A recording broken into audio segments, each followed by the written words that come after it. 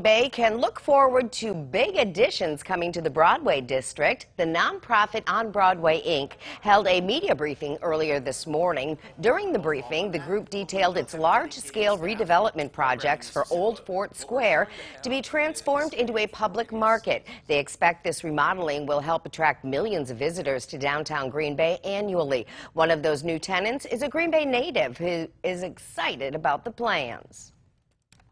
Really ready for this year. Um, I know that people will be traveling from Door County, from the Fox Valley to, to really come and experience this. So it's really fun.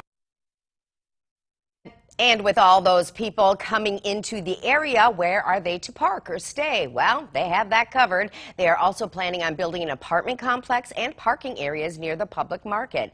We'll have much more tonight in our later shows on this development. Well, the Packers